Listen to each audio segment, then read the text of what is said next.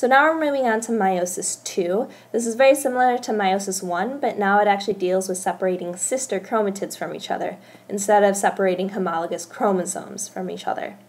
In the first phase of meiosis 2, this is called prophase 2.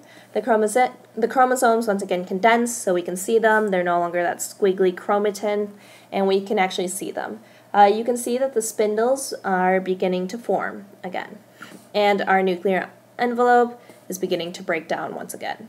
The next phase of meiosis 2 is called metaphase 2. It looks super similar, kind of acts pretty similar. Um, again, the centromeres, the center parts, are lining up randomly along the equator.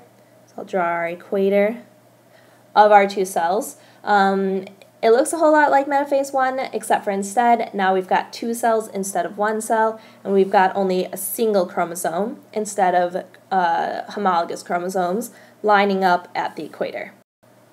The next phase of meiosis 2 is called anaphase 2. Uh, as you can probably guess, it's pretty similar to anaphase 1. However, this time, instead of homologous pairs being separated from each other, like so, um, our sister chromatids are actually being separated from each other. So it's now going from that X shape to the just um, single chromatids. Uh, this is important here for you to understand. By splitting the sister chromatids from each other, you still actually have N chromosomes at each pole.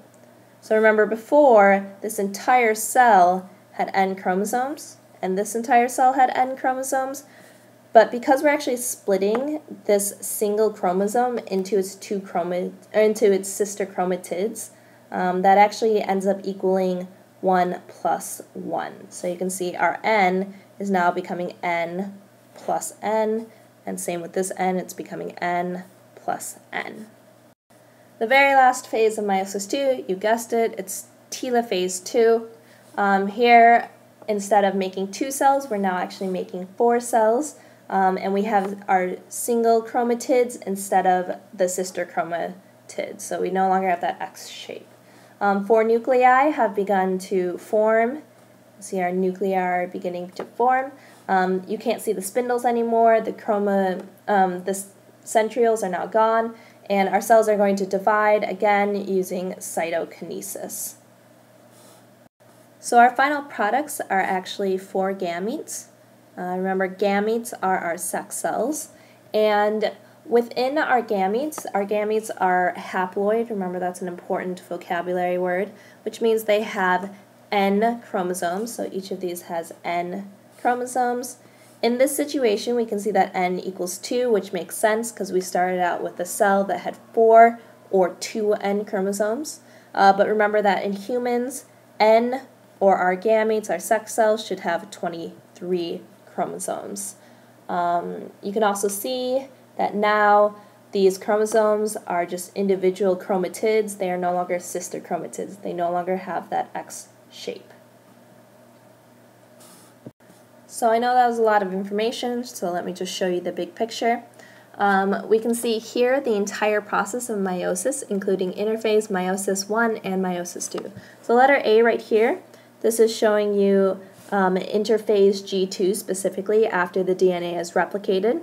I don't know if you can see it, but we've got our chromatin, and each of our chromatin has two strands, which means that it's actually replicated. Letter B is prophase 1. You can see letter B is prophase 1. Um, the homologous pairs are exchanging information, uh, which is called crossing over, and our nuclear envelope is dissolving. Letter C is metaphase 1. The homologous pairs are lining up at the equator and they're attaching to the spindle fibers. Letter D, right here, this is anaphase. This is where each of our chromosomes is sorry, this is where each of our chromosomes in our homologous pairs are now separating from each other and going to opposite poles of the cell. Uh, letter E is telophase 1. This is where the cell begins to split. There are now two nuclei. Um, each of these cells now has N chromosomes, and for us humans, N equals 23. Remember, we started out over here with N with 2N equals 46. Uh, letter F right here, that is prophase 2. All right, letter G is metaphase 2. Letter H is anaphase 2. Here we can see that the sister chromatids are actually being separated from each other, um, which is a big difference from um, over here where our homologous pairs were being separated from each other. Um, remember, when a chromosome has an X shape, it's still just considered one chromosome. When it splits, each new sister chromatid is now considered one chromosome. Um, so the result is that you had n over here and you had over n over here, but we're actually ending up with n in each of these four poles. So we're kind of like multiplying. Letter I is telophase 2. This is where these two cells begin to split and we're making four nuclei, making four cells. So we end up with our four gametes in letter I, which is the final result. And each of these now has N chromosomes, and they each just contain a, um, chrom single chromatids. So there's no X shape, no sister chromatids. And each of these gametes is going to maybe, hopefully, actually probably not. But um, some of these gametes are going to go, go on to undergo fertilization, so two sex cells will get together. Um, they'll create a diploid cell, which is 2n, and that'll give us 46 chromosomes, and that's the beginning of a new human being. Really quickly, let me address what happens to other organelles. Um, remember I said before, we're just so cool, we're going to ignore the other organelles. What actually happens, those other organelles get split apart um, in kind of the same manner so that some organelles end up in each of the four gametes. Um, so all the gametes actually end up with everything that they need. Alright, so you've reached the end. I wish you good learning, and I will see you in class tomorrow.